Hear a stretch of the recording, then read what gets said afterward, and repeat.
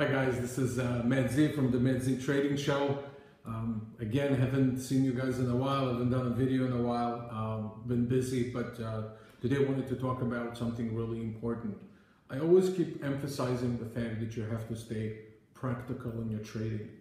It's extremely hard to do. It's, it's one of those things that people don't focus on. People focus on what's the best method, what's the best software, what's the best commission, what's the best broker but they never think about the fact of, in, of being practical approach to trading.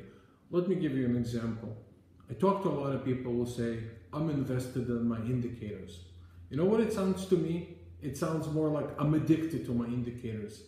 And when I ask them whether those indicators worked for them, 90% of the time I hear, not yet, I'm learning. And my question to them so why are you sticking to things that don't give you progress? Sometimes they say things like, hey, I paid for them. Sometimes they say, I'm used to them. But this is what I'm talking about being practical. If you're stuck with something that doesn't work for you, who cares if you paid for it? It's irrelevant. It's preventing you from moving forward and progressing um, as a trader. What you have to do is really understand that over a lifetime of being a trader, you will make a lot of mistakes, not only trading mistakes, but you will make mistakes about buying certain software, getting going with their own platform that you might have paid for, or anything else. And at the end of the day, you really have to sit with yourself and say, what am I using that truly, truly helps me as a trader?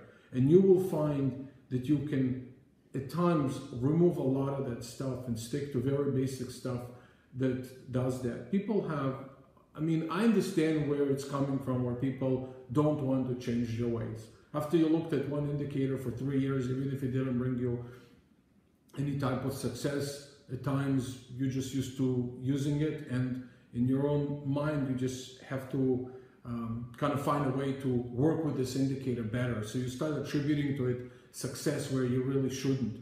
But that's all on you. This is something that you created in your own head, uh, for lack of a better terms, and I apologize for that. So again, Let's get back to being practical. Let's get back to the stuff that really works.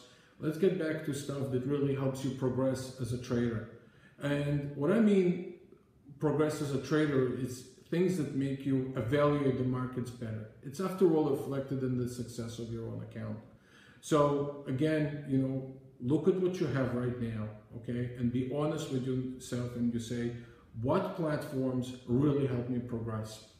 What software helps me progress? What have I bought in the in the last three to five years that did not do anything for me and I'm just staring at it all day?